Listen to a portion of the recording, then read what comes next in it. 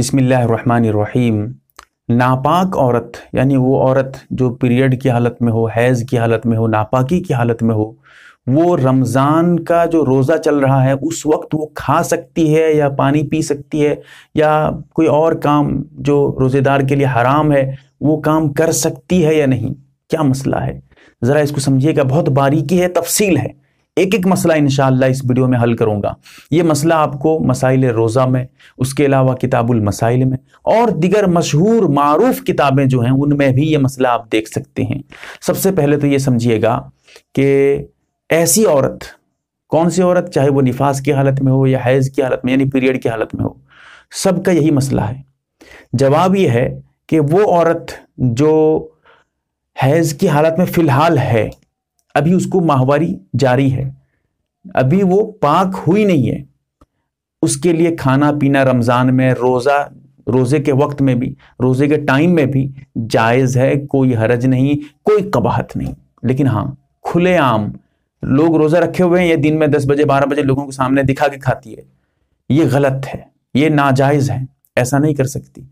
लेकिन हाँ खाएगी, खाना पीना जायज़ है, गुनाह नहीं मिलेगा, लेकिन छुपा के खाएगी, ये मसला है। लेकिन इसमें ज़रा समझिए, एक औरत वो है जो रोज़ा रखी हुई थी। दिन में किसी वक्त माहवारी शुरू हो गई।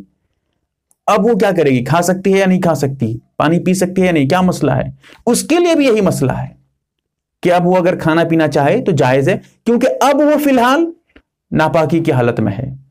एक ये औरत, दूसरी औरत एक ऐसी, जैसे मिसाल के तौर पे, रोजा नापाक थी ठीक है, पहले से नापाकी थी। अब रोज़े के टाइम में, दिन में किसी टाइम वो पाक हो गई। दस बजे, बारह बजे, दो बजे, किसी भी टाइम दिन में किसी भी टाइम वो पाक हो गई। अब तो उसका रोजा नहीं होगा। लेकिन अब खाना पीना क्या होगा? जायज़ होगा या नहीं? जवाब यह है कि नहीं। अब उस औरत को खाना पीना जायज़ नहीं है, क्योंकि अब वो पाक हो चुकी है। रोजा तो नहीं होगा, अलग बात है, लेकिन खाएगी नहीं, पिएगी नहीं, हराम। खाना पीना वो बिल्कुल वैसे ही भूखा रहेगी, जैसे आम आम तौर पे रोजेदार रहते हैं। वैसे ही भूखी रहेगी, कुछ भी नहीं खा सकती, पी नहीं सकती, छुपा के भी नहीं खा सकती, पी सकती। अगर छुपा के भी खाएगी, पिएगी, हराम है, नहीं खा सकती। वो औरत जो दिन में किसी वक्त पाक हो जाए, चाहे गुसल की हो न की हो, जरा समझिए, एक औरत अभी पाक हुई, गुसल नहीं की है, सोचती है कि चलो गुसल करने से पहले कुछ खा लेती हूँ, भूख लग रहा है। नहीं जब नापाकी बंद हो गई, हैज़ बंद हो गया, पीरियड बंद हो गया, बस खत्म। गुसल करे नहीं करे, लेकिन अब खाना पीना उसके लिए हराम हो गया, नहीं खा सकती, नहीं पी सकती रोज़े के टाइम में। तो ये बहुत अहम जानकारी है, बहुत अहम मसला है, लोग इस बारीकी को समझते नहीं है। अब उल्टा सीधा मसला बताते रहते हैं बहर कैफ अल्लाह ताला हमें समझने की तौफीक दे, आमीन या रब्बल आलमीन। आप देख रहे हैं यम ए आर बी दीनी मालूम यूट्यूब चैनल। चैनल को सब्सक्राइब करें, वीडियो को लाइक और शेयर करें। फेसबुक ट्विटर इंस्टाग्राम और टेलीग्राम पर आप हमें फॉलो कर सकते हैं।